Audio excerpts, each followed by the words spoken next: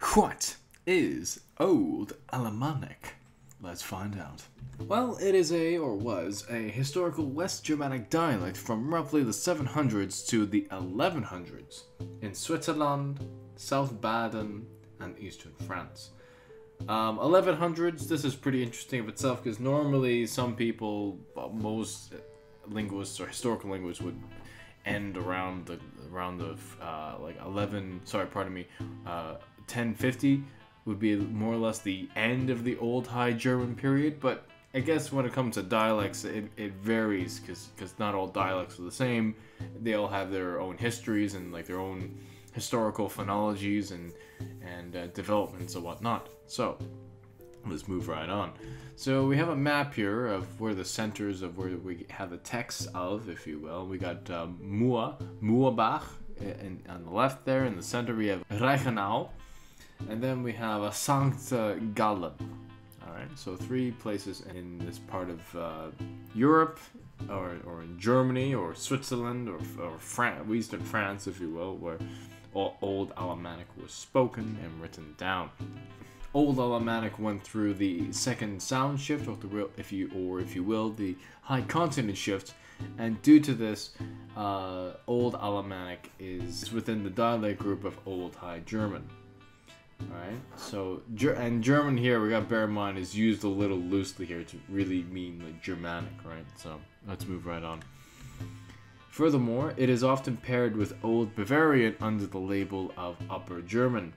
Uh, this is due to geographical uh, reasons, the fact that you know uh, uh Old Alemannic and Old Bavarian are both in the south, um, as well as they both share um, they both share some common features. That's why they would be labeled together under Upper German.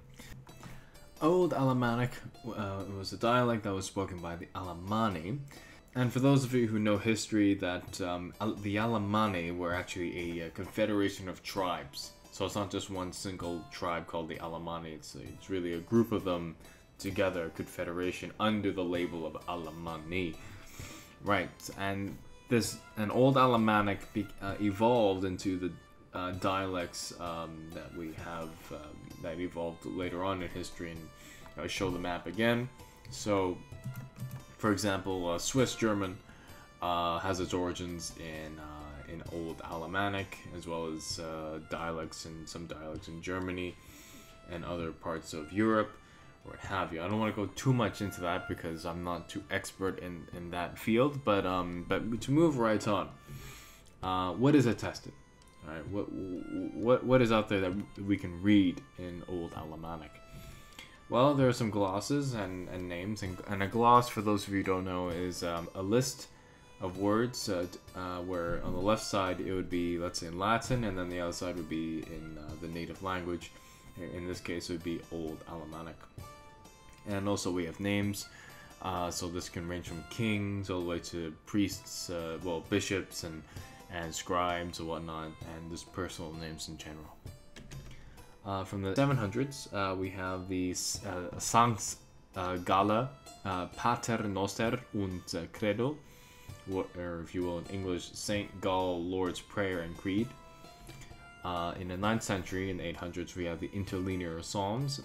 interlinear refers to, so what you would have, um, you would have a Latin um, manuscript, if you will, of you know, let's say, well, in this case, the Psalms, and in between the Latin, like the scribe in question would put in the old Alemannic. So that is what is meant by interlinear. Um, then we got the Murbach hymns, which is cool of itself, from the 800s. Uh, then, then from the 9th century, yeah. So from the 9th century to the 10th century, the Christus und uh, Samarit, Samariterin, uh, Christ and, and Samaritan. Um, it's interesting what's up because the manuscript itself is from the 10th, but the text itself was from the 9th century. So yeah, so the, yeah, that's the thing to bear in mind with when it comes to dating of texts, because there is a distinction between like when it was written down originally, when it was created originally, as opposed to like uh, what manuscript we have it in. Because it could, it could you can have something like written out in uh, let's say in one century uh, but then you can have copies of the same thing that and and one of those copies could be from a much later date. So that's something to bear in mind. And then we have the Georgslied, uh, which is George's song from the from the 9th to the 10th century. From the 10th to 11th century, we have the translations by Notker, which is cool of itself. Alright? But then, more interestingly, later on, in the 12th century, we have the uh, Physiologus. Physiologus we have in the 1100s, which is really interesting of itself because Old High German in general, the Old High German period, if you will. You know, so, some linguists would say, oh, oh, yeah, it ended roughly around 1050. Um, but I guess in the case of Old Alemannic, it lasted a little longer. Uh, I guess whoever wrote this, um, you know, was one of the few, um, you know, Old Alemannic writers in his time.